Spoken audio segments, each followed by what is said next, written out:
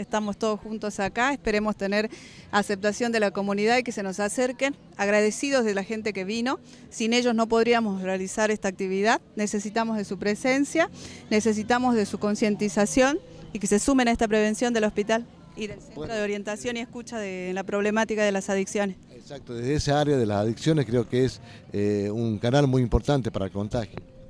Totalmente, está muy relacionado la drogadependencia con el HIV y con todas las infecciones de transmisión sexual. La idea es que tomemos conciencia, pero por sobre todo entendamos de que esto no es de, una sola persona, se trata entre todos. El problema es de toda la comunidad. Bueno, es importante todavía que de esto no se hable, o sea, que no se digan números, valores, que lo sigan ocultando, o sería, eh, digamos, mejor si lo dan a conocer para que estemos más prevenidos. En cuanto a estadísticas. claro, uno dice, no quieren decir cuántos hay, en ningunos casos, para no crear alarma, pero por allí el efecto contrario es más peligroso.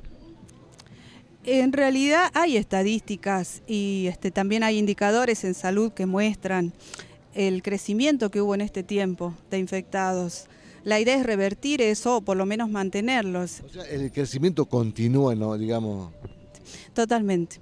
A pesar de este, las actividades de prevención, de la difusión que se hace en los medios de comunicación, de la orientación que uno puede dar desde el hospital o desde el centro con los chicos que trabajamos en la problemática de adicciones, continúa. La idea es que se tome conciencia que esto se puede prevenir y que es tratable Nadie se muere por tener HIV si hace un tratamiento adecuado.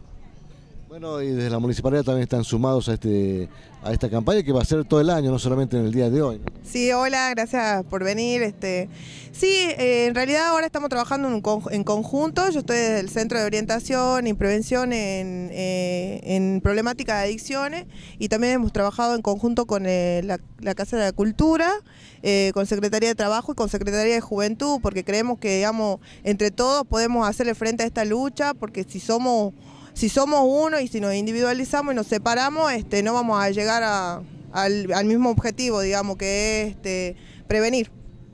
Bueno, la, gente está sumando, los chicos están acercándose.